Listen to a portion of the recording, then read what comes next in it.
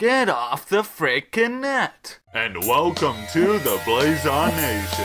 where the World Wide Web and real life world collide, and brings current events to you, then takes it all into debate. With your hosts from the depths The Thing. and JBJ Blaze! And welcome back to the Blazon Nation. This is episode 19 on December the 23rd, 2014, I believe it is. And welcome back. Even though I'm pretty sure I said that already. But how's things been with you without getting into too much detail? Mr. Thing? Everything has been going well. December spirit has descended upon us, as it does every year. I got all my Christmas shopping done, so I'm gonna have some nice Christmas Eve dinner and with family and relatives. Christmas Day is gonna be in the morning at my mom's house, open presents, and then I'm gonna head over to my dad's for Christmas brunch. And as always, in the month of December, happy holidays to everybody. And I wish you all the best.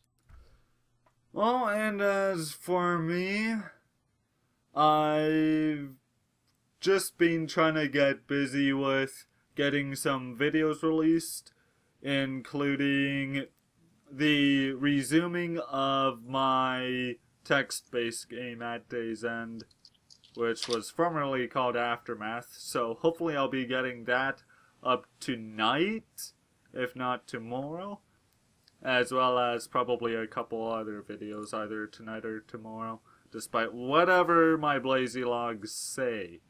Of which way I do believe I have a notepad for the next segment. Yes, I do. And so, um, I forget how I'm supposed to, how we're supposed to do this intro segment. Oh, actually, let's go with this. So we did originally record the 19th episode last month, which was during the Thanksgiving Day weekend. Uh-huh. Unfortunately, the audio glitches still recurred even after I believe it was maybe episode 17 that the audio glitches first came up, 16 or 17.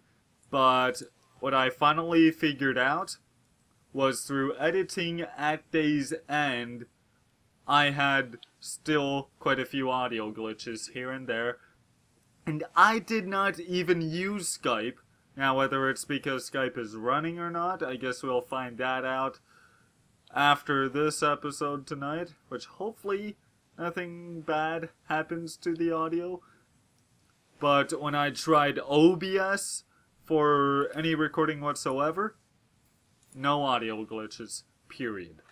So I am currently making this switch to OBS. I would have loved to go for FF split, but for some reason, just about a minute in or so, the RTMP channel thing just drops it right away. And uh, yeah, so that's why we're still not on FF split quite yet. But anyway, shall we get to our next segment? We shall. Alright. Sidewalk talk. Talk where we aren't actually on a sidewalk. Yeah. Alright, so let's first start off with you, Mr. Thing. How's your maybe actually two months been? Well, I had a wonderful Thanksgiving. There was a lot of food, and I really, really enjoyed it.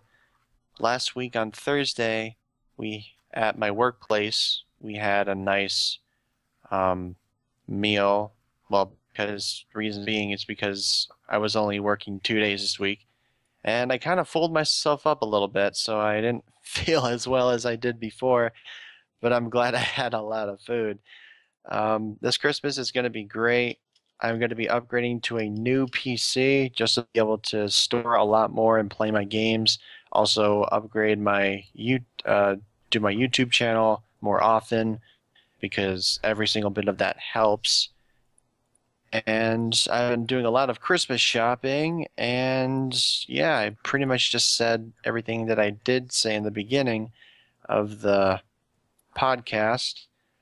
And that's pretty much what has been going on throughout the end of November and the last week of December. All right. What Oh. about you? For me, so last month we had a couple trade shows. One was a gun show, and the second was a fishing show. And at the first one, we got to go to a dinner in which Mr. Grenville Pinto, who is a violinist from Toronto, he performed there, and I got him to perform Bleed It Out. So that is actually one of the videos I will be uploading soon, but it's Facebook exclusive because it was a private thing going on, so probably not the best to put it on YouTube. Although I will be putting up, I have a couple videos from a school wide thing going on, so it wasn't just our school, it was also a couple public schools and maybe one or so. I, I'm not sure if there were any high schools there, but we got to have a live Skype chat. I guess it wouldn't be live, but we had a good chat, well, interview with Mr. Chris Hadfield, so I'll be uploading that soon, hopefully tomorrow. And yeah, and that'll definitely be for YouTube since it's a public gig and well at least public enough. But in other things I am currently finally relieved of most of my schoolwork because it's Christmas holidays, but I am hoping to find some time to resume work on this physics program for one of my teachers, which is for my computer science class, which is also where I gained enough knowledge of Java, of the Java programming language to be able to resume development of my game Aftermath now at day's end.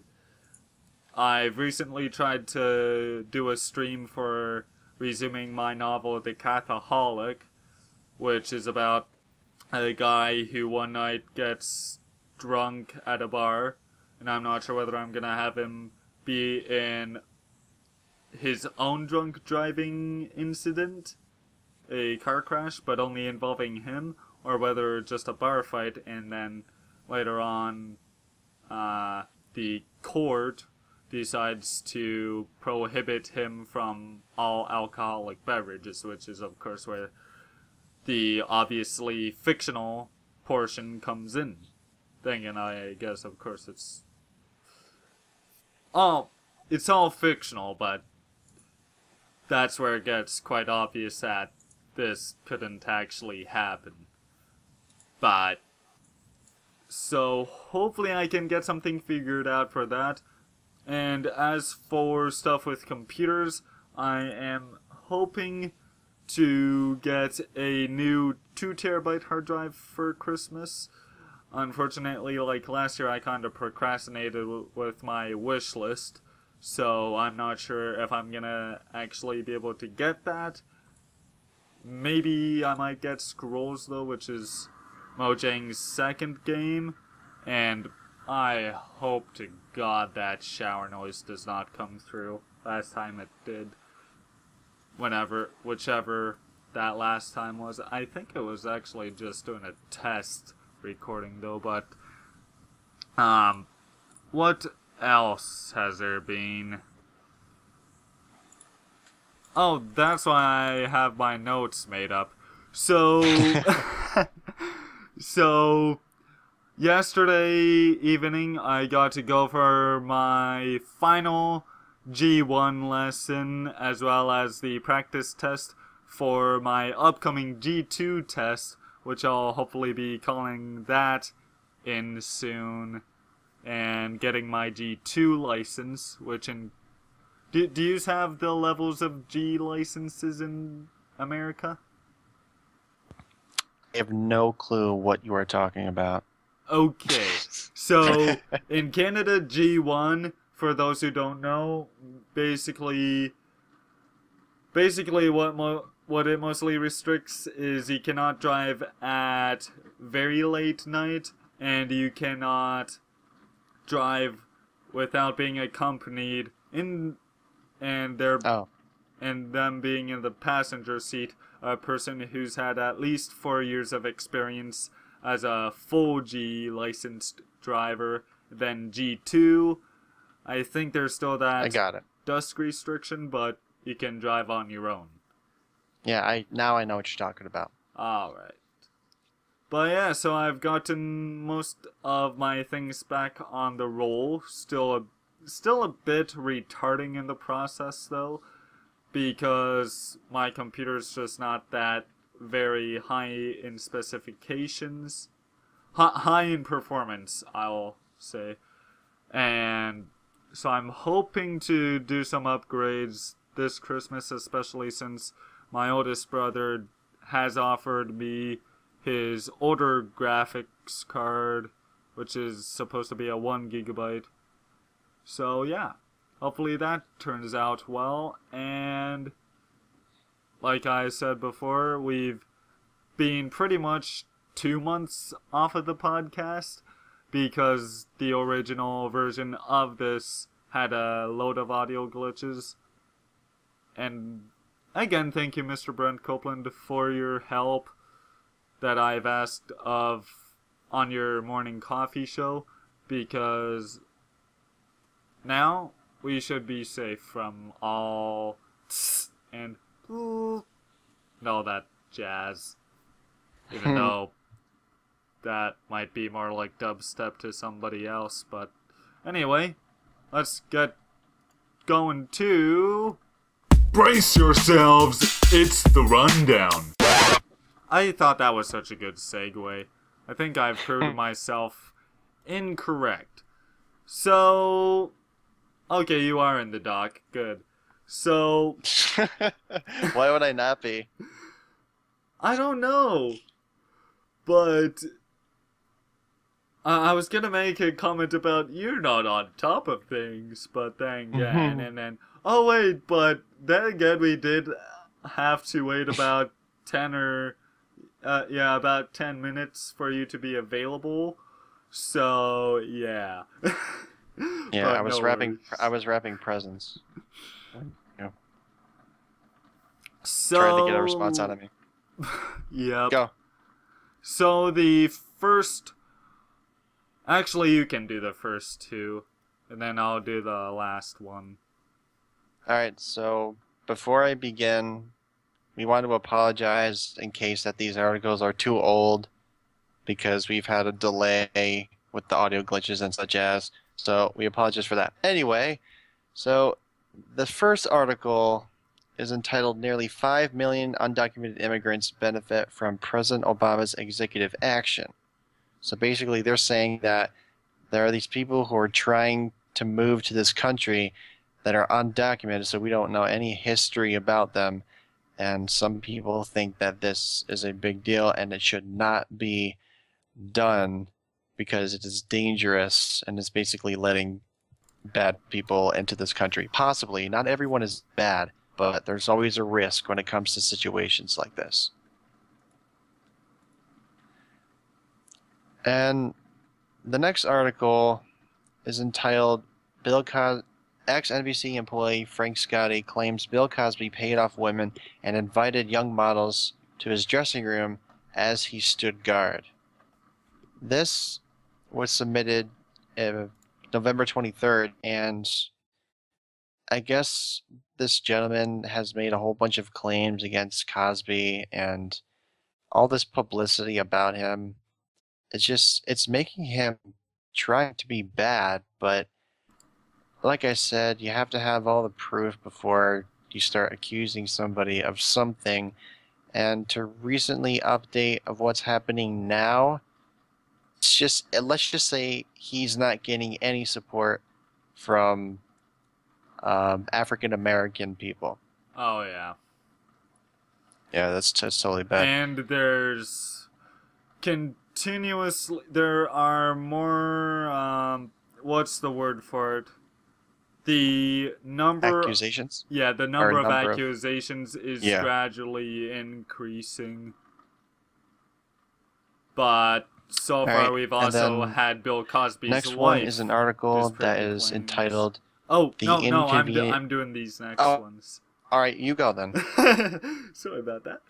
Um, and then these last ones, which actually even tie into recent events still, we have the inconvenient and tragic truths, which that is probably the best thing that I ever was able to find on the Ferguson shooting, and then a video timeline of two of the two accounts that occurred. So the one account being that which would indict Darren Wilson, and then the other account which was of the police, which would go to say that Darren Wilson is innocent and Michael Brown tried to inflict force upon Darren Wilson during that conflict. And then the final one, and this was Black Friday, and it's still going on.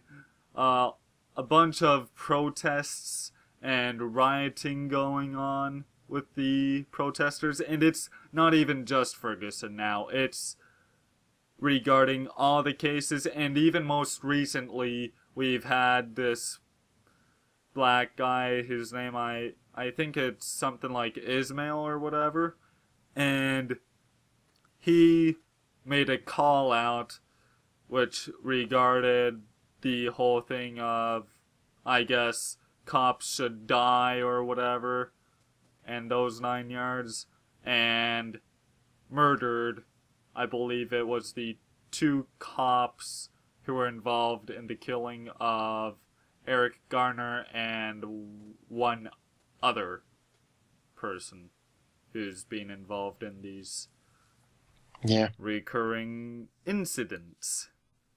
And then, of course, we're leaving it for the end, but, and I'll be editing this out, but the listener megaphone.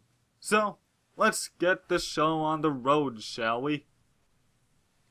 Yep. If I, I gotta remember I'm using Winamp now for the bumpers, because OBS does not support media files such as MP3s. Anyway, Digging down. Let's get to the details, shall we? Alright, so let's dig down first into why. Not why. Let's not get too opinionated yet. Um, how, how do I put this?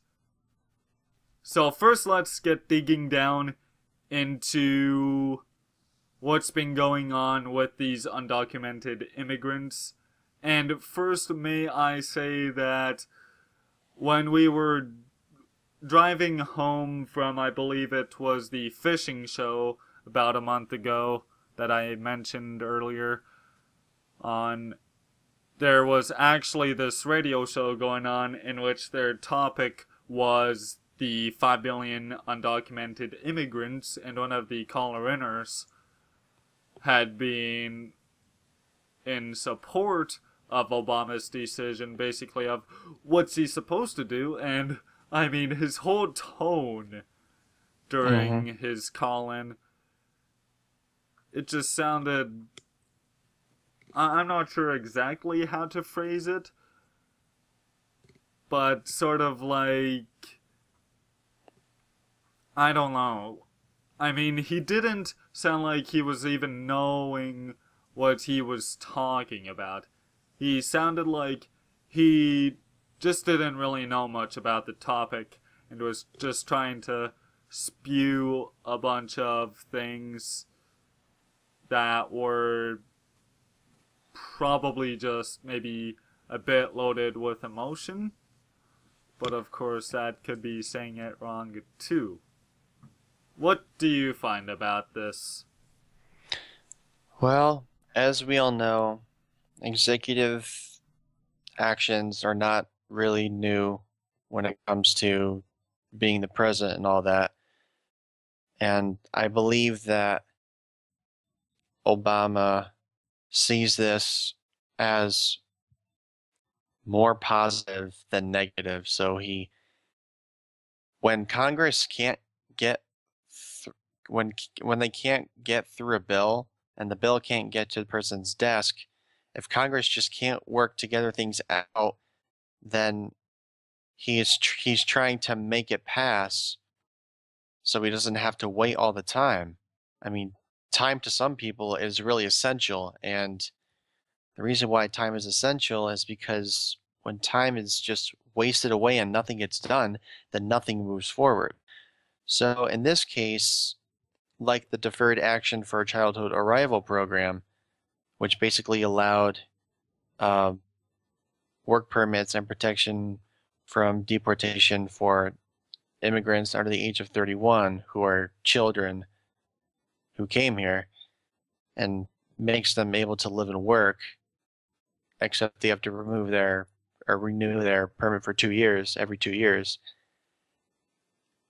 It's i guess it's just a it's more of a political thing than than anything else but i i guess you have to find a balance. If if something outweighs the negatives than the positives i guess in a way it's okay but sometimes a choice to do something is better than having no choice at all.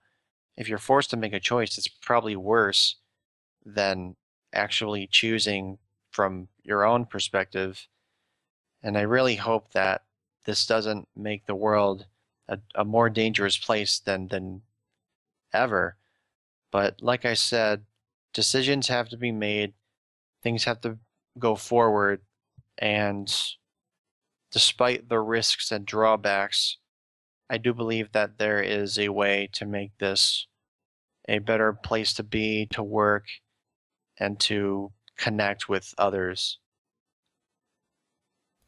That's all i got to say.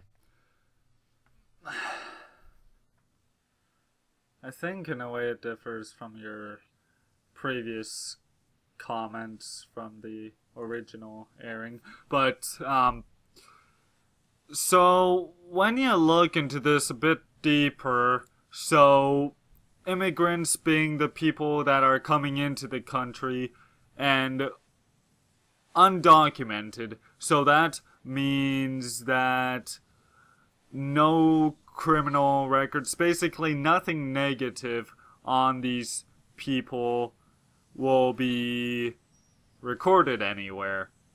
yeah Or that if it is recorded anywhere, that it's even being considered.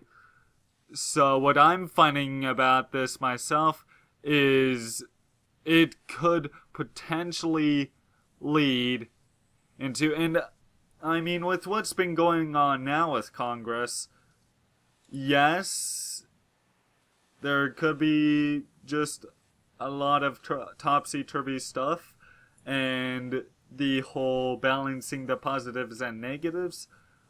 But then, when you. when things go on later, I think the negatives really become more obvious mm-hmm.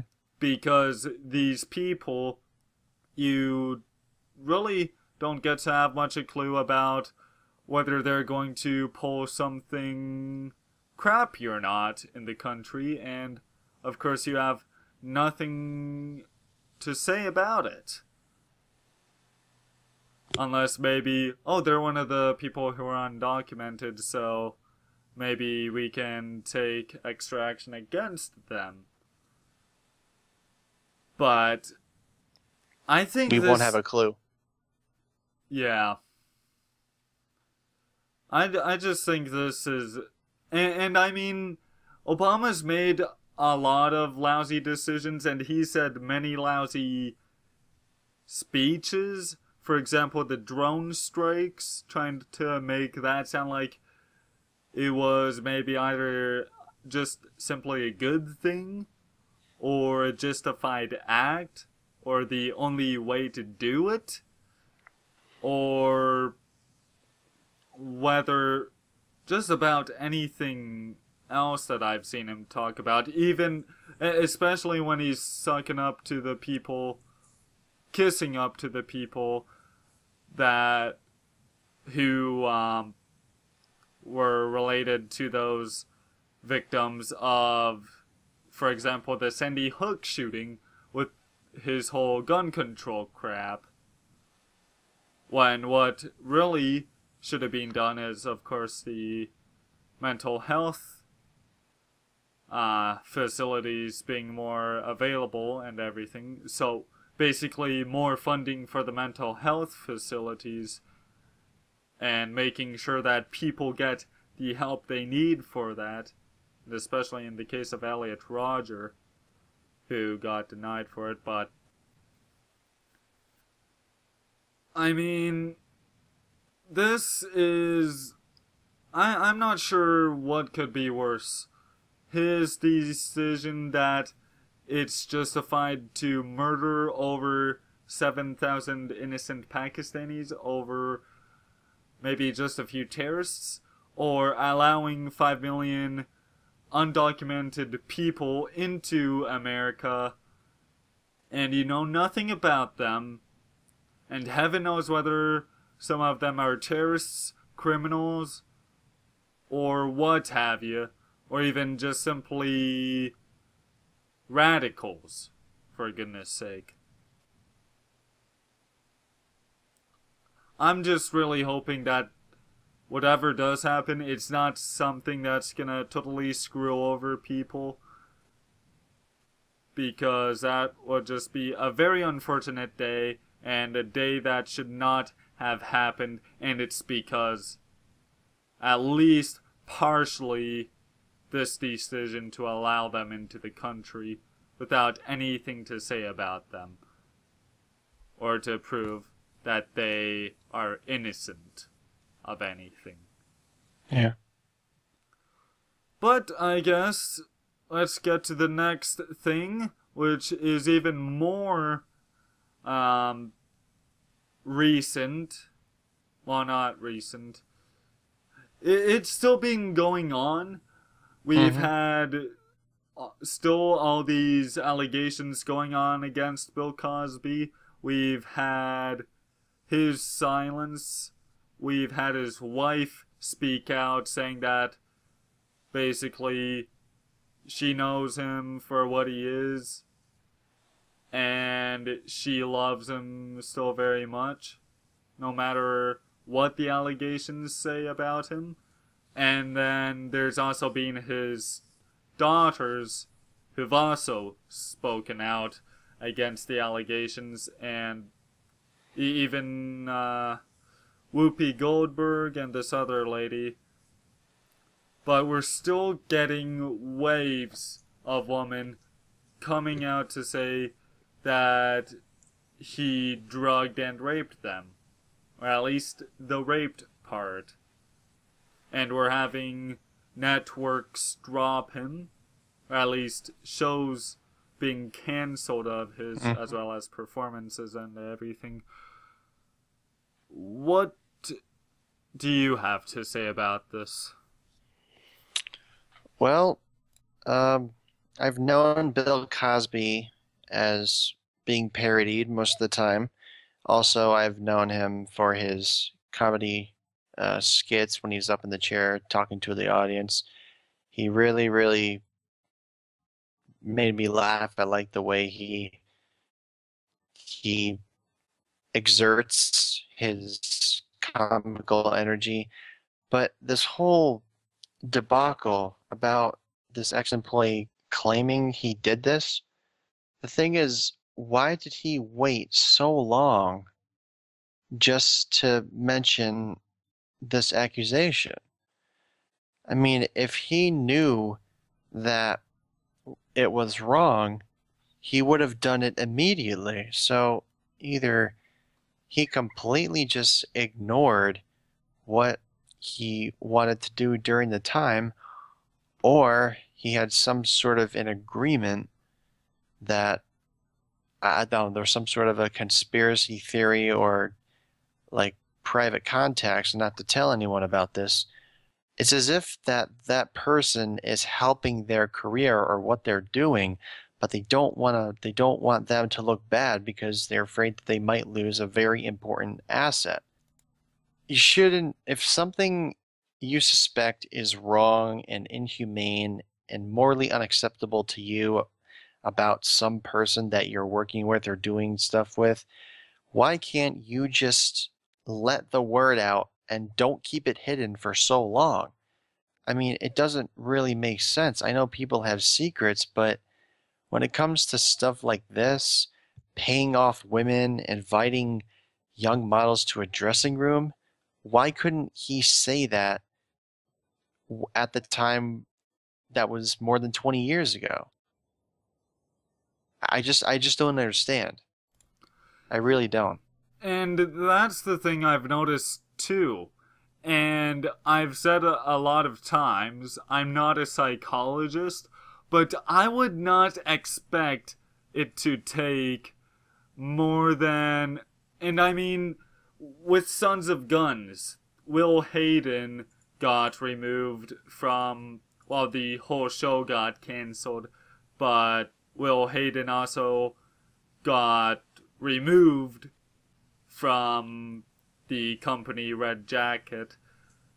But the allegations claiming that he molested, I believe it was his granddaughter and maybe even his daughter, these did not take more than a year to come up. I believe they were only about nine or so months. If if even that long. I actually no, I think they were more maybe just about a quarter of a year is all it took for his granddaughter to speak out and say that he stole her of her stole her virginity from her in molesting her. But when it comes to cases like these allegations against Cosby, they didn't take within a year. They did not take within even two years. They took more. They took more years than I've even been alive for. Yeah. Th- these things have happened in the 70s and 80s, and now you're bringing it up. Uh, I have read something about that there were al- that there was an allegation made in about oh three or oh four or somewheres around those years, which got set, which that lawsuit was settled, but why and and I think about I I got a feeling that a lot of these newer allegations are just coming out because while there's all these other women's allegations so maybe I could get some money out of this too. And of course I'm not saying that they're incorrect. I am well if anything if if what they say is true, it's incorrect to keep this hidden for decades and then finally speak out about it. And even Whoopi Goldberg mentioned something about a rape kit that usually you'd get after finding out you've been raped. Of course, I don't really know much about rape kits myself. And I'm not sure if I'll ever need to or should ever need to know about rape kits. But. And then I look back on what went on with Michael Jackson and the the molestation claim against him that seemed to be the biggest ended up after his death. The kid who made the allegation admitted it was only for the money. And what i'm wondering is maybe when bill cosby is finally destroyed from his from his career if someone's going to say oh yeah and i only did that for the money or or if he's going to end up dead like Michael Jackson, and oh yeah, we only did it for the money. Wow, look at what's gone on. You've put this person through a bunch of criticism over something that they never did, and something that's apparently only for the money. So, out of your own selfishness and greed, and and I mean, a part of me wonders if there's even some thing there that's a racial issue. And we're gonna be getting more into that in the next topic, but what I'm wondering if there's maybe a potential racial issue, even despite there being one black woman that did come out to say that she was also raped by Cosby, but I think there's only been one black woman out of, I believe, the rest being white woman. And they're all up against a black man. And th- th- that's where I draw the similarities between the two. They're black, rich, and I I finally remembered this one day that and I think this was walking home from school that oh yeah, that's and this might have even been on Friday before the break. And I thought that's what the third one was, and I can't remember it again. Whether it was maybe just the length of time it took for the claims to come to light, but. And if these things are true, then. And, and I suppose that's where the other line comes in is Yeah. whether or not the claims are true, either way, someone's going to be destroyed. It's either going to be Cosby's career completely, or it's going to be these women's careers completely. Because I won't be surprised if the whole world despises them.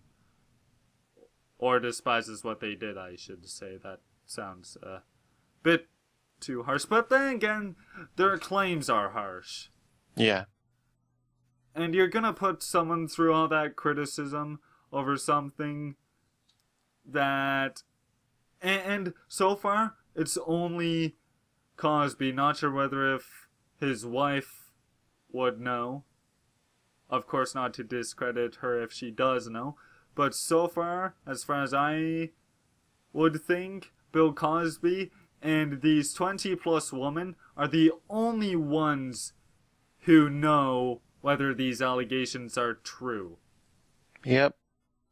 And to think that someone here is lying their butt off, whether it's these ladies to get fame, to get fortune,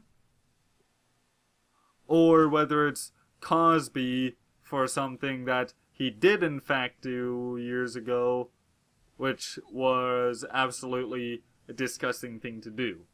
Yeah. But of course, I cannot necessarily. And and, uh, and a bunch of people are already labeling him as a rapist, and it absolutely bugs me. It's for for example, the Justin Carter comment. Do you remember that? He had made a Facebook comment um, about in which he was sarcastically what what it was was he was playing League of Legends with somebody over the Oh, yeah, internet, and yeah. Yeah. and it got got called a terrorist threat. And only then after their investigation did they find out that there was no terroristic intent. Mhm. that only until he was sentenced that he ended up on suicide watch. Was there ever an issue with his mentality Yeah. or possible terroristic thoughts and i hope to glory terroristic is a real word i think it is though and then I think possibly in the case, and this is our next topic, but all the protests and everything going on in the US that are. I mean, with the whole labeling of all cops as scumbags. Obviously, not every single one of them is a scumbag. There are the few No. out there that break the rules, but Yeah. not everyone's a scumbag here. Mm-hmm. There are those who play by the rules.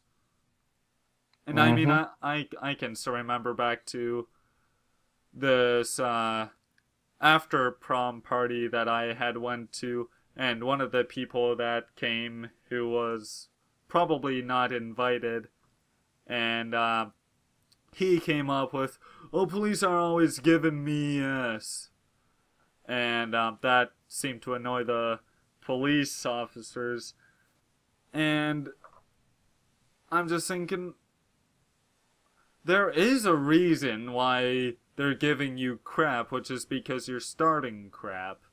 Mm-hmm. But well, and you said that that you were already uh, spoken out for this, or Yeah, I, it's just I really I don't understand why people put race into when it comes to crimes and just all the stereotypical things that are that are happening. It's it's just a shame. And and now you have the protests that are going on in New York City about protesters saying, "What do you want? Dead cops? What do you want? When do you want them now?" It's it's such a shame, really. It they're taking a simple thing that should not be race based, but they are Oh treating wait, it like we're that. St- we're still on the Cosby issue. Oh, we are? Well, you Yeah. just kind of jumped Sorry, into I- that. Yeah. My bad. Yeah, because I thought I thought I told my opinion on Cosby, and then you said that, and then you jumped into the next one. Yeah, admittedly so. But j- just the whole labeling with the. And, I mean, it, it is potentially a racial issue, in my opinion. Just like our next topic is most absolutely a racial issue. It's a racial issue to the people who make it a racial issue. Exactly. I see it as a well, a result where if you want to steal from a shop, you're going to get you're going to get told on by the police and if you don't comply, bad stuff is going to happen that you're not going to like. And apparently Michael Brown did not see this and at the time he was under they found marijuanaism. system. I don't know if that altered his mind in any way, but this resulted in so much media that it resulted in um, Darren Wilson retiring from the police force because everywhere there are people holding up signs that says Ferguson is everywhere, police brutality and murder must stop it's just people treat this thing as a race thing when it should not be treated as a race thing at all. I mean, it it's just people are animals when it comes to these when it comes to these situations. The recent event is when there was there was a cop that was sorry, not a cop. There was there was a there was a black man who was trying to sell cigarettes illegally, and obviously there's a label on the box that says not available for individual retail sale, and he was not complying with police, and the police had to put him in a chokehold because he wasn't complying and he was struggling. He was very, very aggressive, and he was going to hurt somebody, and this resulted in the black man having a cardiac ar- going into cardiac arrest, and he ended up dying. And now the streets are flooded with people who who are thinking that that these that cops are are out of control in the city and they should be stopped. It, it, I don't understand. There's a person who is trying to do their job as an officer through several years of training, and then you have people who see, who don't ever see what it's like to be in their shoes, and they would rather cry and complain and make it a race issue as opposed to just looking at the issue in general. They just they label things like there's no tomorrow. They don't have time to to think and respond to how the situation could be looked at differently and they just go what's on their fixed mindset and they stick with it and that's kind of disappointing to me but that's what i believe how some people think in certain situations like this i'm done Oh. Yeah, you finished up too soon. Ah, crap. Now, what was I going to say? But, yeah, and go- going back to the thing with Cosby, I'm honestly further on Bill Cosby's side of the issue, with that these allegations are untrue. But honestly, I prefer to. I'm gonna just wait to see what does actually come up, because heaven knows. And, and apparently, they are finally doing an investigation into it now. And I, I gotta wonder why they've waited so long to do the investigation. I mean, you're getting all these allegations and you haven't done the investigation yet. At least you haven't announced that there's an investigation going on yet. yeah But I just hope something works out the way it's supposed to be, that they do consider the evidence, which so far there is absolutely, I believe, probably nil of, that proves the sexual assault allegations. And just that justice is, is served the right way. And if Yeah. anything, if it is proven that these allegations are untrue, I will not be surprised if there is a defamation lawsuit filed. And otherwise, Yeah. of course, if otherwise happens, then that Cosby is incarcerated for good. But, of course, that's so far not where I am on the whole spectrum of who's right and wrong. But, Go- going into the next topic, I I definitely with what I said about it's absolutely a racial issue, it really is. And I forget if you mentioned anything much about it already, but you have either the racial issue that black that white cops like to kill black people or something or abuse their powers or whatever. Th- There's that racial issue, but then there's the racial issue on the other side of things with that just because every single one of these cases involves a white cop up against a black person, a black civilian, or let alone that it just simply involves a cop killing the person that the cop's automatically in the wrong. Either just because they're a cop or just because they're white. But, and, and like you say, with what evidence there is in the case of Ferguson, the guy, Michael Brown, was shoplifting and he did not comply with orders, so apprehension was applied yeah and even more force was gone against, and even more force was exerted against the officer. So the officer has a bloody right to enforce back, or to exert force back against the individual. Yeah, if if his life feels threatened in any way toward the person that he's trying to talk down, then he has the right to use that force if he has to defend himself because that's what Darren Wilson had to do when he got already got punched twice and if he got punched a third time, he said that would have knocked me out for sure. That's why I did something. And even thinking back to, for example, my law teacher at school, he's talked about that he had to use um, physical force against students to get them to stop from fighting.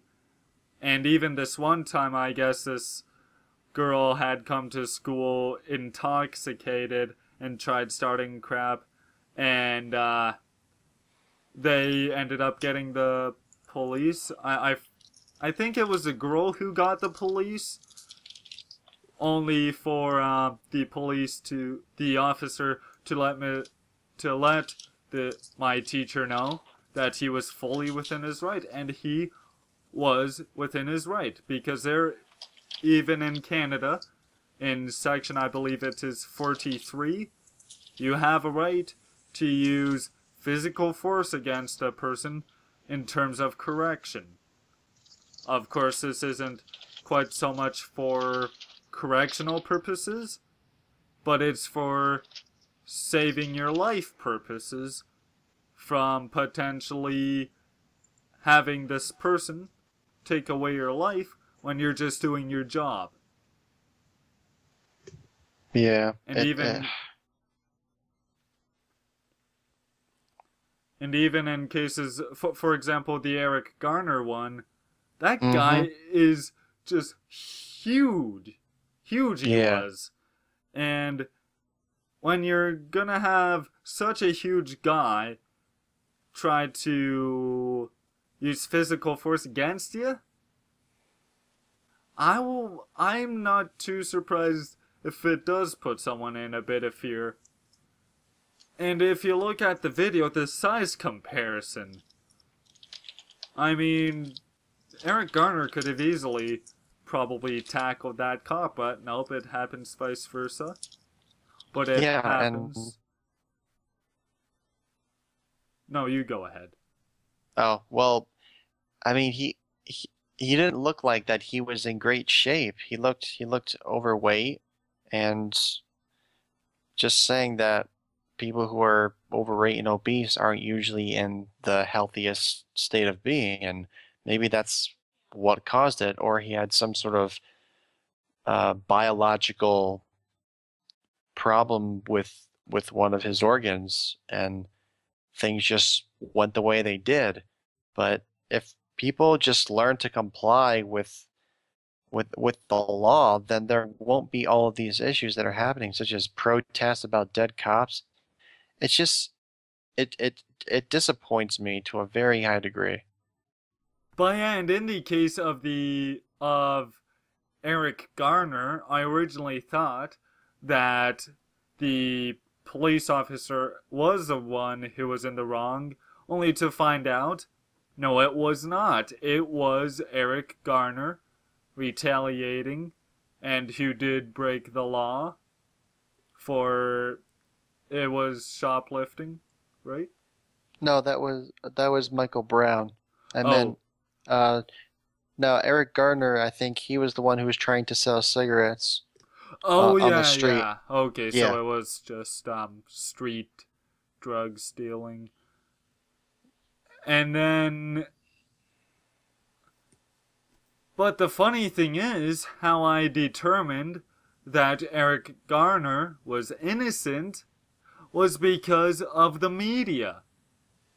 So I can consider Does- myself a victim of the media bias. See what the media does to your minds? Yeah. It makes you it makes you think completely different. You start and I believe that you start developing you first start out as an as unconscious because you're so old or so so young, sorry.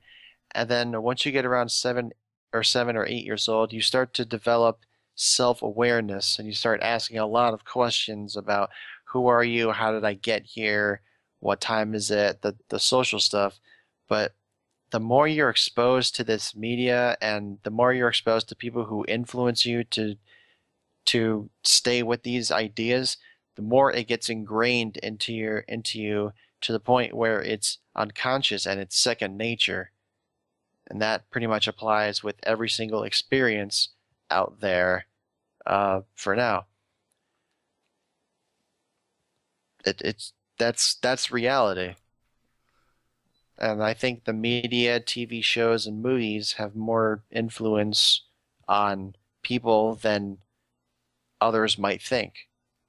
And what I also find bothers me is for some reason in cases like these, and even a while back I made a blog post, a textual one on the Blazon Nation blog about this uh, news, about this case on the news, which involved two men stabbing a gay person, and they, for some reason, had to bring in, but we're not sure if it's a hate crime or not yet, or yet or not.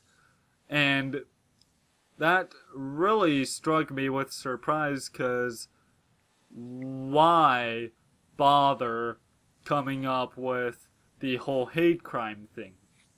I, I don't know. It The- just it doesn't make sense to to automatically assume that's a hate crime. You're just you're going with something that is basically my brother told me one thing.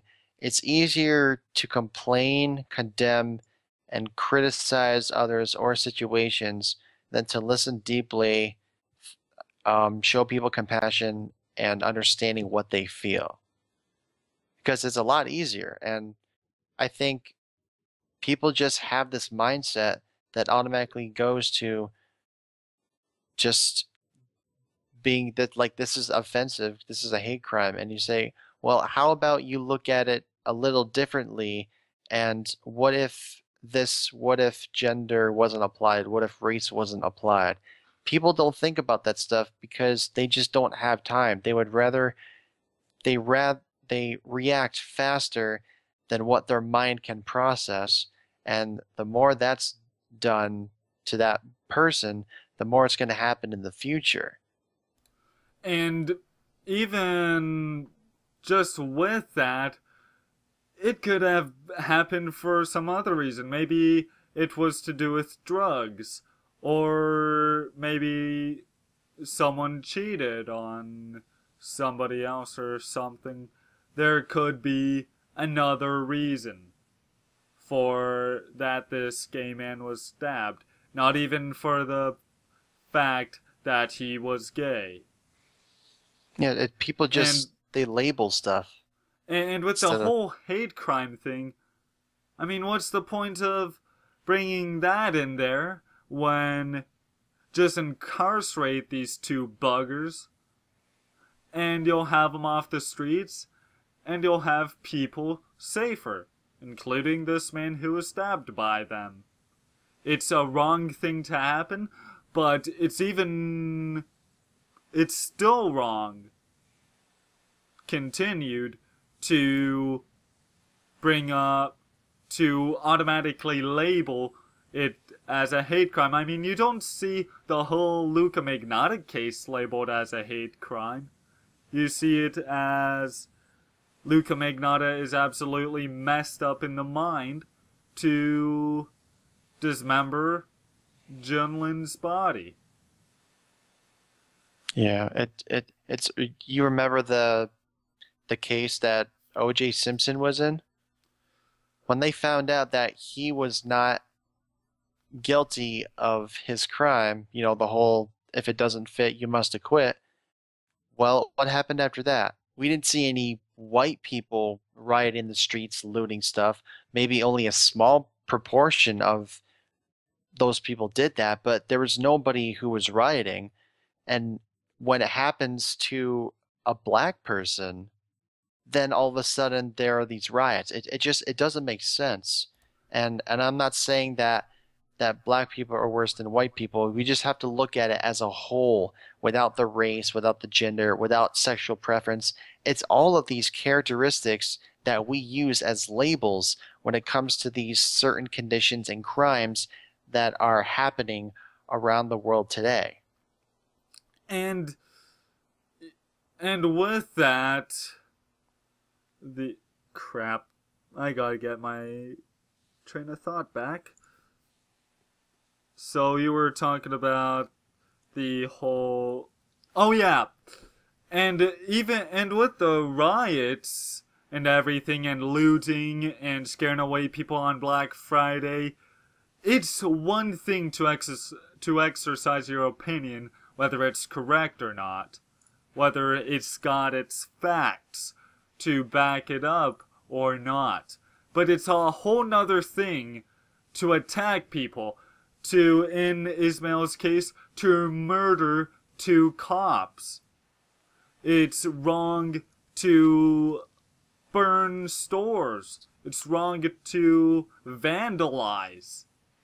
Even in the case of going back to the Bill Cosby thing, it's absolutely wrong to have grief to have graffiti to have graffitied his star on the Hollywood sidewalk because they scribbled rapist rapist rapist all over it. Right, but but the thing is is that you have rights and wrongs which are moral values. If you were to put aside the moral values and just look at it as in general, all the things that you said that you say are wrong are just crimes. That's it. They are crimes. And when it comes to morals, doing something that's wrong as opposed to doing something that feels right could be completely different but in general it's just we just look at it as a crime there are too many things that are happening in this world and we basically put these labels on top of what is supposed to be just a generic crime scene because it's a lot easier to criticize condemn and complain about those things as opposed to just trying to understand why this happened and how it happened but they just jump to conclusions because they don't have the the, pro, the power or the mindset to think about the situation and how it's different as opposed to what they think it is originally. Yeah, and it, it's just. And I forget if I did post this on Twitter, but they're, they're the rioters, they're just total animals. They are. They're animals, exactly. I mean, again, it's one thing to exercise what you believe of something, whether right or not, but it's totally acting like a freaking animal to take it out on others who may not even have anything to do with it. And Yeah. most likely they don't. But you still violate their rights to be safe from the crap you're pulling off against them. And sometimes you're protesting about somebody who ended up dying that's pretty much the same race as you, but you never personally know who that person is or was or was going to be or any of the things that he or she has done in their lifetime. You just find someone who's protesting their mind and then you tend to follow that person if you think it is the right thing to do. But people have different moral values and some see it as wrong. And I think that's just the thing, though. Yeah. Is yes, it's sometimes definitely not a bad thing to listen to what others say, but of course, you want to have your own facts. Yes. You want to check it out for yourself. But people don't have time for that. wrong. They don't have time to go over the facts or think how the situation could have been done differently. They just do what their mind tells them. And and I think with In that, if you want to have a legitimate thing to say or something that's even worth saying, make yourself the time to make sure it's legitimate before making up something that's total nonsense and could very well get your butt kicked in the end. Yeah. But I think that's all about I have to say. How about you? Well, we've been kind of talking back and forth, and I've been getting opinions about things. But in short, people should look at these kinds of situations if they were to put aside all of the labels that people are using from the media, from the internet, just from every single possible social website, and just see it from a realistic standpoint as opposed to a labeling standpoint. And if Mhm. people if people have the have that mindset, if they're open minded enough to look at situations that don't have anything to do with gender or race or sexuality or any of those any of those labels, then I believe that people can work more efficiently and communicate more effectively to the point where we will evolve better as a society. I find it fun having to keep on unmuting myself. Me too. But I I think that's just about it though. Yeah, that's that's pretty much it. And actually that's what I was going to bring up and uh, as offensive as it may sound, although it's completely within definition, people need to quit being so darn retarded with what they believe. They need to quit being so retarded in the mind, make sure they have their facts before they spew a bunch of BS anywhere. That's one way of putting it. And then they're gonna look like a darn fool for doing so. Mm-hmm. But let's make. Actually, no, that is a terrible way of a segue. But uh, ready to shout it with me, or however you want to Oh, yeah, the- say the- it with me? Listener's megaphone, right? Yep. Okay. Three, two, one. Listener's Listener's, megaphone! megaphone! Nearly Christmas edition. So, Alright. first up, we have. I'm trying to say that word. It What? is Oh, the oh that one. Oh, the ones for November, right? yeah. I'm gonna search it up. Oh, I can say it if you want. I can read that one. Yeah, you you Okay. read it, and I'll read Uh, the last one. Okay, so this response was posted by somebody named. Oh, actually, Col- I'll read the last two maybe. Oh, okay, okay. So this person named bastardized bearded a-hole, we can call him Angelo for short. So he asks, "Yo, BN, it's a me, BB freaking A. What's a good dog? Anyway, homies, what are our y'all recommendations in talking to a crush? I'm a man in case you don't know, black to be exact. I mean, I'm nervous whenever I'm beside that girl, and I'm losing out for words whenever beside her. It's just how could I tell my feelings for her without having an awkward situation? I know this isn't a love advice podcast, but I ain't got anybody to ask you. How? Thanks. P.S. Do you all get black brother friends? Just curious, fellas. Okay. So, oh, I'm gonna start out by saying I definitely recognize you, and I'm sorry we're getting to your advice so late again.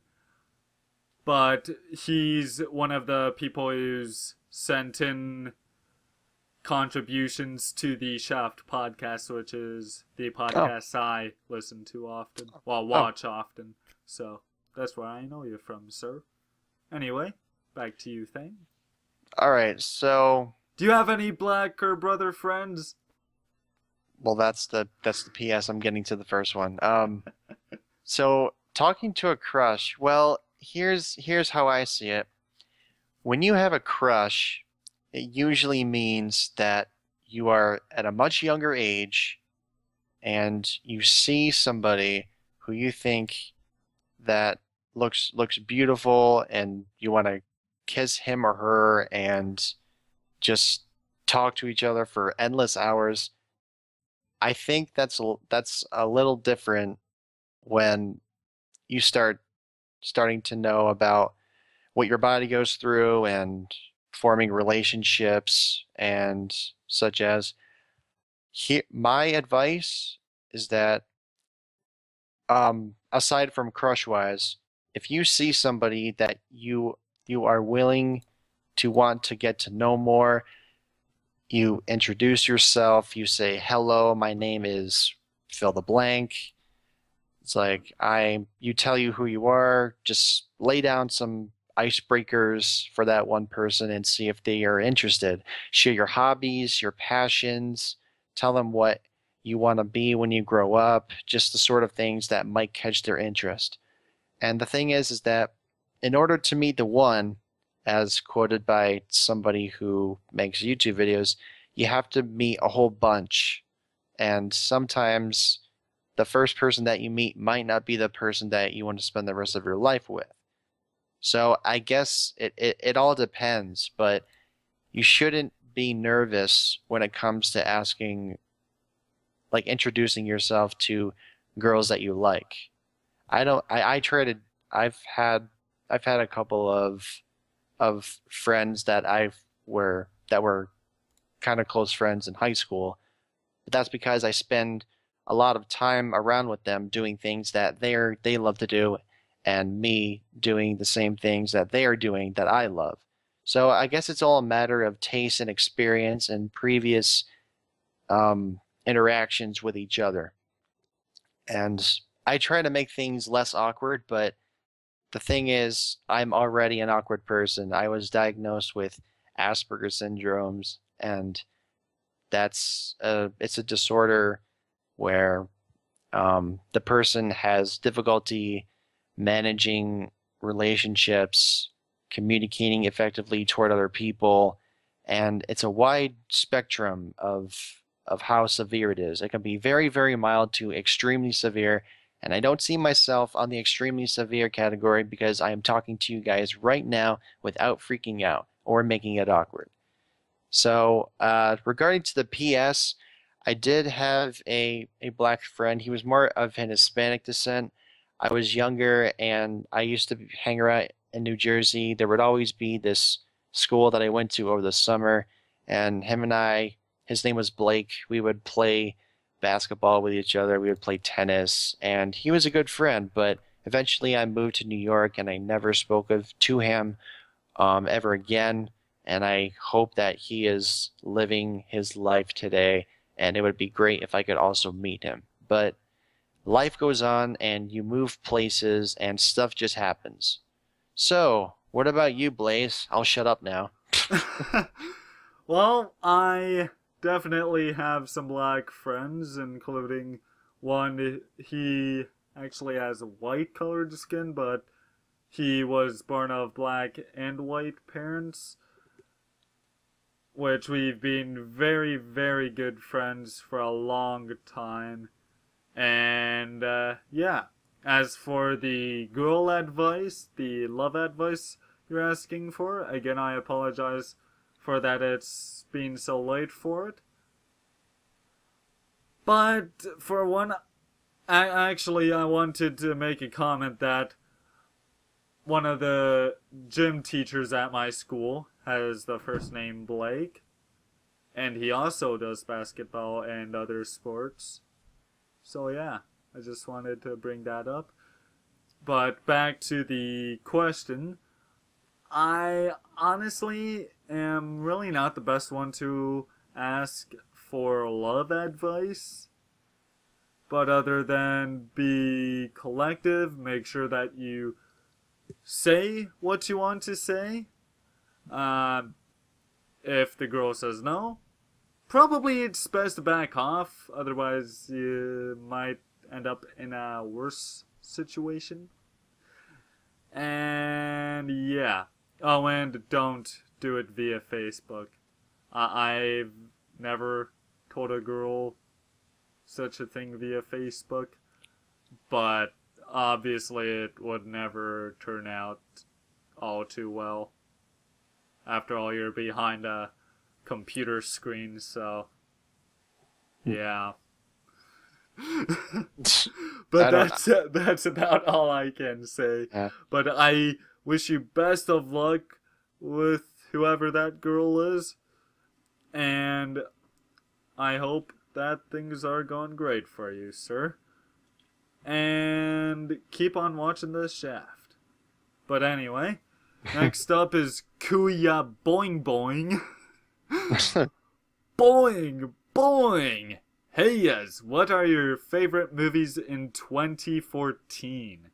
So, I guess I'll start with my mother, my friend Nathaniel, who's recently had the 19th birthday, and he's also my friend who's mixed race, or black, in other words. And um, we got to go see The Mockingjay Part 1, which was a very excellent movie.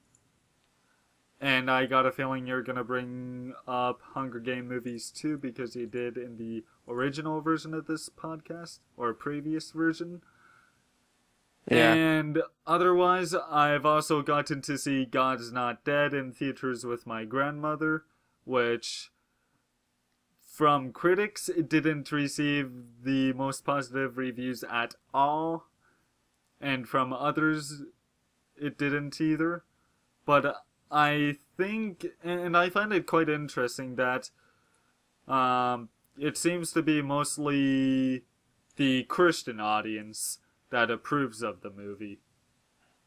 Whether it's because of just the whole, maybe because of so called trying to convert people from being atheist.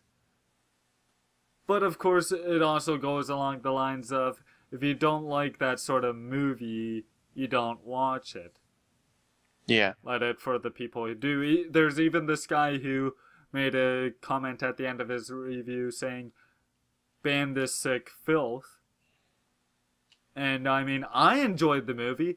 My grandmother really enjoyed the movie. Well, I also really enjoyed the movie. But even my grandmother, she's raised Catholic. And she thought the movie was very good. So I think that's definitely got to be something, and I'm part of the Catholic religion as well, and I found the movie very inspiring, and it actually kind of helped me with my own faith. But so far, those are my favorites of this year, other than Dawn of the Dead, which I did get to see that, even though it's an 04 film. It came from 10 years ago. We've also gotten to see Shawshank Redemption and my law class, which was my first time watching that movie, as well as Cool Hand Luke, which is from the 60s, which was also in law class. And I got a feeling I'm leaving out a movie. Oh yes, and Gran Torino. That's the movie I was about to leave out. And I've also gotten to start into The Walking Dead. That's not a movie, but it's a dang great series. And its mid-season finale, which we Mhm. dare not spoil for anyone here Yeah. listening, It's huge. it was just brilliant. But anyway, what are your favorites? Well, I'm going to list the movies that I have seen this year that have released this year. So, first up was Paranormal Activity The Marked Ones, which was basically a spin off of the Paranormal Activity series. I thought it was actually really, really, really good. And the reason why is because it changed the pace when it was just about just people moving the camera in the house. It was more dynamic. It was it took place in a setting that had a lot of Spanish uh, act, actors and actresses. So that was that was really really well done. The next one that I saw was um, How to Train Your Dragon 2, and that was basically a sequel to the first How to Train Your Dragon. Such a great movie. It's by DreamWorks. They make really, really, really good movies. Um, and then the last one that I saw was Guardians of the Galaxy, and my goodness, that was so fantastic. If you guys are really a fan of like DC Comics and Marvel and such like that, you will so enjoy that because I really, really did. Ones that I'm thinking about seeing is The Hunger Games Mockingjay Part 1, but I heard that ended on a cliffhanger, so I might not see it. Um, I haven't seen. It was very much so a cliffhanger. Yeah, just like the second movie was. And, And- and of which way Guardians of the Galaxy I have also heard very, very good things about, so I am definitely anticipating seeing that movie sometime. Yeah. It was it was good. I'm I'm bound to see a lot more movies next year when they arrive on Netflix. So we'll see.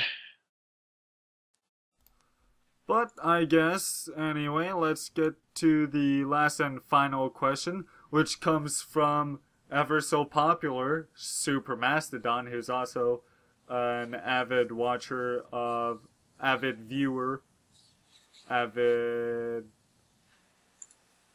avid fan of the Shaft podcast and beating a dead horse and sorts who says, As a gamer, which do you prefer more, kickstarting or pre ordering? Total Biscuit made a really good video about this, and he provides a link.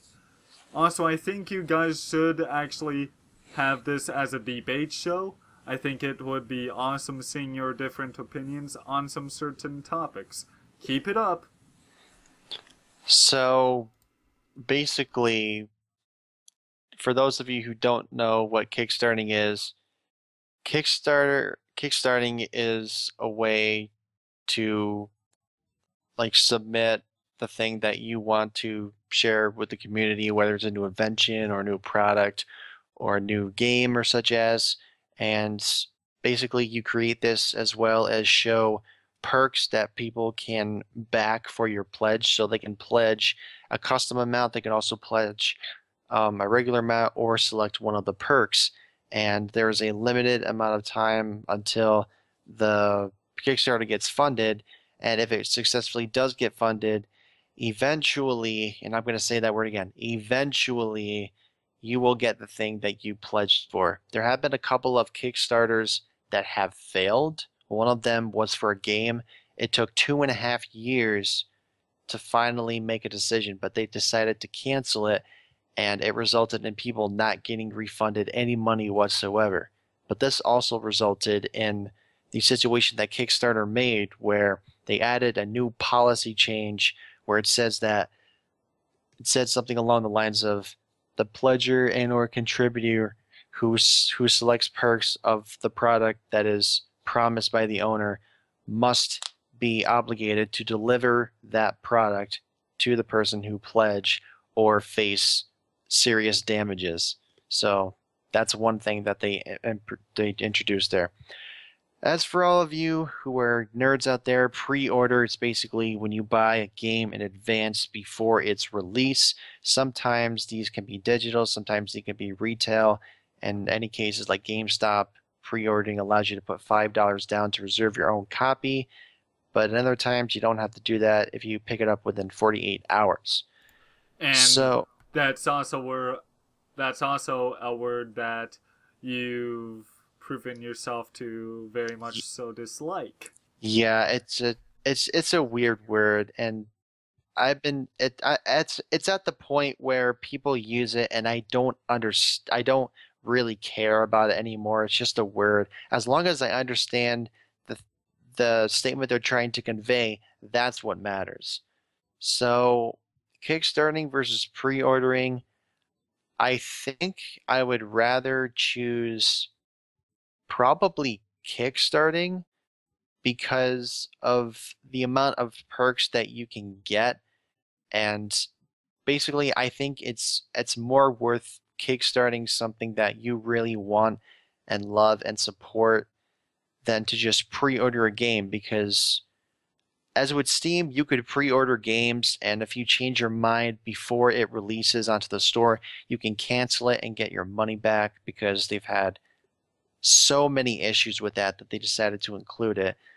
But with Kickstarter, you just you just have the potential of receiving a lot more things than just what you're getting. But like I said, it all depends on the consumer. If people are willing to spend money pre-ordering a game to each his or her own, if you're willing to spend money for a Kickstarter project, the owner is expected to give you the things that you pledge money for. And the only difference between when it comes to finalizing payments is that for pre-ordering, you pay in advance before the game comes out, whereas with Kickstarters, you choose a perk of how much you're going to pay, and if the pledge if and if the Kickstarter campaign is successful, then on the on the second where it it um it succeeds, if it succeeds, your account or card gets charged. But if it does not succeed, then no funds are taken out of your uh, savings or checking or whatever, or your card if it fails. So I prefer Kickstarters. Yeah, and I guess the thing with Kickstarters is also you're getting to support the game. I, I think more early in its development, and Yeah. so far the only Kickstarters I haven't really. So there's the Yogscast Kickstarter that didn't turn out so well, but that's because someone took some money and ran from the rest of the company that was supposed to deliver, so they could not deliver. But that's because of one of their workers. I think we said the person was an art designer something. Something involved in the art portion of the project. Or there's the Kickstarter for Oculus Rift which the only problem I have with that is what happened after, which was Facebook buying Yeah. Oculus Rift. That's so I- dumb. That was such a I- waste of money.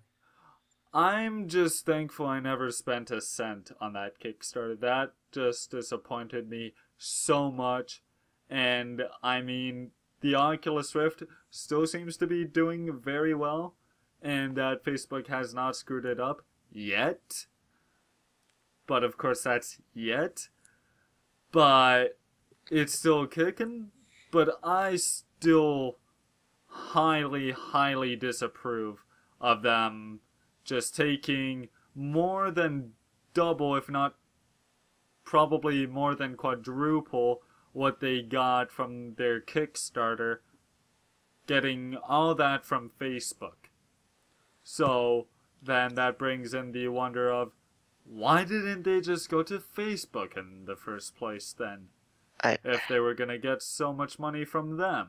I don't know. And now because I think they spent so much money buying the Oculus Rift, Mark Zuckerberg, the person who who created Facebook, is no longer part of the top 10 richest people in the world. Or, or was it America? I don't know.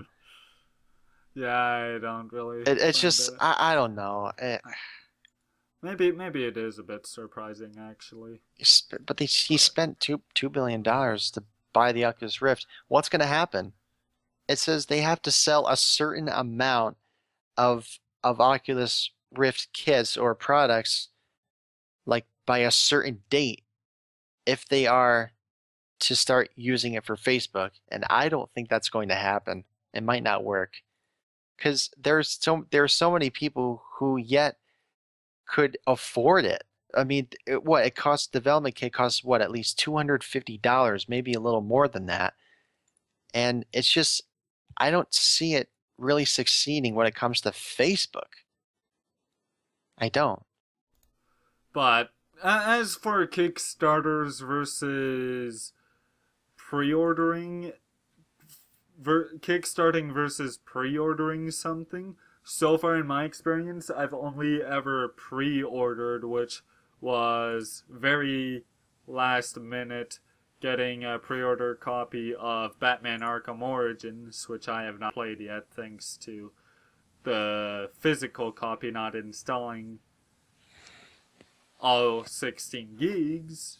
Yeah. Not exactly sure why, but I gotta download the rest 7 gigabytes through my Steam client. And then I also got a pre order, which was also pretty much last minute, of Wolfenstein the New Order. And I was able to get the extra things with that, which were the TF2 items, as well as Doom Beta access. And Whenever that is. Uh, I'm not exactly sure, other than probably maybe some sort of reboot of Doom or something. I don't but even know. I guess it's to be released sometime or so. But so far, I've really had no problems at all with pre-ordering. Then again, I do that all through Steam, pretty much. Steam Well, uh, is well, uh, PC other- Master Race. Yeah, and other than Arkham Origins, I actually got that through EB Games, but so far that's been my experience, and I have not supported any Kickstarters yet. I would most absolutely love to, though. So far, the closest thing I do to supporting a Kickstarter is Mr. Brent Copeland's Patreon page, which is basically an ongoing Kickstarter for if you're doing um, multiple projects. I mean, not multiple projects. If your project is an ongoing thing, as opposed to basically just one burst of money and you're all set for the rest of the way. So, myself, I I really can't say. It really just depends on what it is you're going for, but I I think in the case of a Kickstarter, probably best to do some research. K- kind of like the Minecraft scam conventions this year. It Mm. proves that it's probably best to do some research before you do pay money for a Minecraft convention. Unle- Unless it's, however, Arcadia Con or Minecon, because those have proven themselves. Well, Minecon's official, but Arcadia Con's proven itself to be very trustworthy and well worth it. Speaking of cons, I'm going to VidCon next year. Hmm. Yeah, that takes place in July 23rd to the 25th in Anaheim, California. And then bought my- there's supposed to be PlayOnCon Yeah, next year too. But I'm if I can, maybe I'll go. I'll see if I can have enough money for Arcadia Con. I doubt it though, but i i- it's a nice idea. only time But- will tell. As for your other thing, we did talk about this before on the previous recording, which was that the problem with Blazon Nation being a debate show, and so far, I think I might be able to get Cheddarface back on for the 20th episode, but so far, we agree on far too many things, and I think we've only Yeah. agreed, I mean, disagreed on about one thing, which is the drone strikes issue. But I think that was hardly much of anything. Yeah, it's it's it's every once in a while we find something that we both disagree on. But for the most part, we have good intentions and similar mindsets in yeah, place. we're we are far too like-minded. I should have looked into that before I got you onto this show as a full co-host. I should have made sure you were a way further left-wing person, which obviously you're not. I think. I want to be in the middle. I don't want to be in the right or the left. I I I consider myself a bit further right, but probably not too too far. Not Yeah. exactly sure though, but that that's just the thing though is we har- we in our experience with the show we've hardly ever disagreed on something at all. And unless maybe next show, if we do get Cheddar Face on and there's a disagreement, then there you go. Yeah. Rarely do we disagree on things, and it's kind of strange because you, it's ironic if you think about it. Usually, when we talk politics, you would expect one person to have one side, the other person to have the other side. But in this case, we pretty much agree to every single political thing that has been happening in the world. Mm-hmm. And that's just That's- our that's- issue. That's uh, well, it's a it's not really an issue. It's more of like a, I guess, um, Oh no, th- this is a very big issue here. We we gotta start disagreeing on stuff as of Yeah. now. oh great. Problem is, is I don't really know Entitlement. how. Everyone should have entitlement. Unemployment checks all around. Uh, I'm done. well, I again apologize to pretty much all of you whose questions we've gotten to so late. And I have not seen that Total Biscuit video yet, but I do plan to. And I forgot to mention earlier that I got to tune into the Canadian Video Game Awards. And it's funny that Watch Dogs got Game of the Year, which clearly it did not deserve That- it. no, I didn't. There was And- too much and not enough quality for that game. And Yeah. e- even um, I tweeted it out that Child of Light having five awards and Watch Dogs only having two, excluding Game of the Year. I tweeted out that Child of Mm. Yeah. Light deserved it more. And guess what? The Child of Light official Twitter favorited my tweet. Oh, no, that's nice.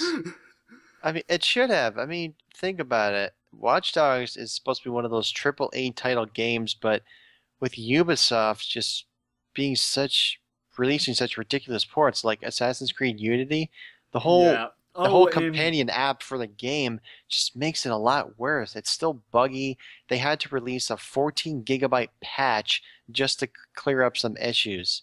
And it's just it's so weird, but I think Ubisoft is really good at making open environments and open world, but they have to polish certain things before they release it. There was a there's an article about The Witcher 3 being delayed, but according to Oh, the yeah. developers, they said the game is actually done, but they are polishing it. So they are getting a whole bunch of, of QA testers to play through this game and point out any things that they think need polishing. And that is what I think developers should do.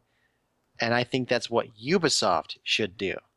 But And- Ubisoft, they make great open worlds, but when it comes to functionality and and story driven characters, they need to improve that a little bit.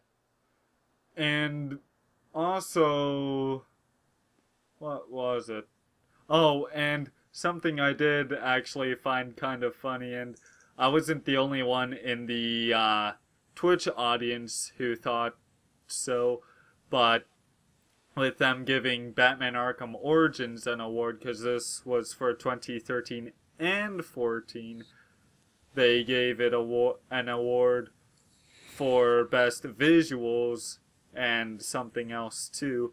And a couple people, including myself, brought up, yeah, probably Mr. Victor Lucas has something to do with that because he's well known to be a total geek for Batman. I'm Batman. and, and I mean, when when they reviewed Batman Arkham City on Reviews on the Run, his colleague Scott C. Jones rated it a 9.5 out of 10. Guess what Mr. Victor Lucas rates it? A 10 out of 10? 12 out of 10. That that doesn't even work. You can't. That's not 100%. If you divide 12 by 10, you get 1.2, which is 120%. That's not how it works. Yeah, and uh, Like, why? and Ah, I, I guess on Wikipedia for the show, it still pretty much gets counted as a 10. th- But that's I, I, I can remember when my oldest brother said that they should have rated Crysis higher, because I forget what it, what they rated it, but he said they should have rated it 15 out of 10. And I'm thinking, no, but that goes over, and then. Okay, maybe you were right, because they just rated Batman and Arkham City over Yeah. 10. I mean, I, I I don't understand these these grades. I used to get grades in college, so I had to do this paper on this. I did it at the last minute. I did it at nine o'clock. I finished it in two hours. I go back to my class, and then I show it. I then get it back. It says I got 110 on it. How does that happen? Is there some sort of paradox that is happening in the world of numbers? Because it just it just makes no sense. I don't understand why that that would happen. Oh, it's so weird. And one of my friends, I think this, yeah, this would have been in grade nine. He got, I think, about a hundred seven percent in our French class, and that just completely surprised me. I mean, well, then again, our teacher did give bonus marks, so I believe that would have been why. But it's pretty funny that on the marks program that the school board uses, which I forget what it's called exactly, but that it would actually have that sort of an output. But anyway, we gotta go for bed, or at least I Yep. do. Yep, we have we have to prepare for Christmas Eve because Santa Claus is coming to town. Exactly. Ho ho Also- ho. Also, Steam sales. But if you're watching this a month in the future, then you're probably not exactly. yeah, you're out of time. The Steam the Steam sale runs until I think the second of January, Yep. uh, 10 a.m. Pacific Standard Time. So if you're wa- if you're listening or watching this and it's already past that time, then you missed the sale. But that's okay because there will be a Valentine's Day sale. Mm-hmm. And get Phil- some stuff for your loved ones, including you, Angelo. Also, Fifty Shades of Grey. That's quite the raunchy reference, but okay. Yeah. So where can people reach you? All right, so if you want to reach me, I can be reached along with my Twitter handle at the thing 2010. That's T H E T H I N G and 2010. You can also look up my YouTube channel, Splinter Cell God or SC God for short.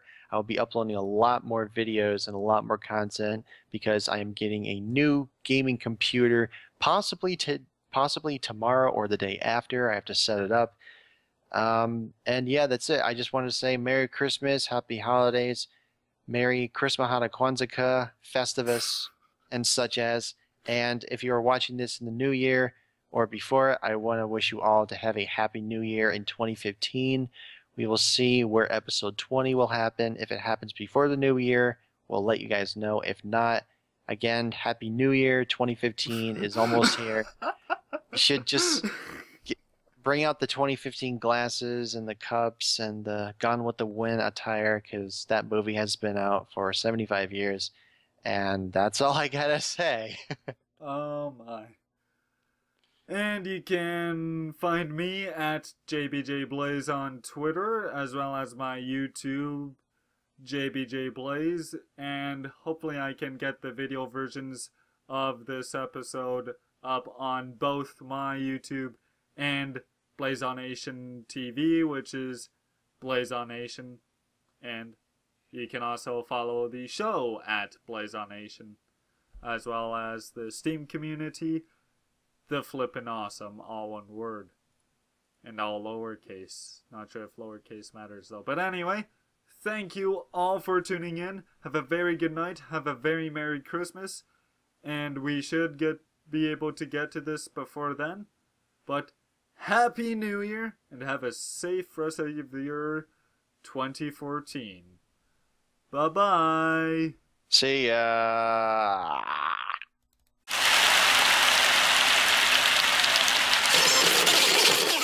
What do you mean you want more? Or did you miss something? Hey, if so, go to blazonnation.tk for more articles and show notes, to flippinawesome.enjin.com slash bnp for show notes, and check out the show on Stitcher at bit.ly slash bnp stitcher.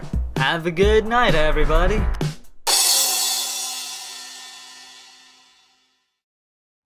Also, noticing the time, unfortunately, I won't be able to get any of these videos which I did plan on getting released tonight.